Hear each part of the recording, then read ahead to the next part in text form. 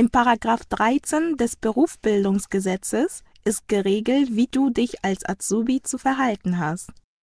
Das Wichtigste ist, dass du dich als Azubi bemühen musst, alle Kenntnisse und Fähigkeiten zu erlernen, die du brauchst, um die Ausbildung erfolgreich abzuschließen.